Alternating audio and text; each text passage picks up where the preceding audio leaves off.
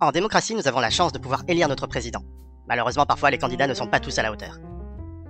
Bonjour Donald, bienvenue à Thé Café. Est-ce que vous aimez la musique qui décoiffe?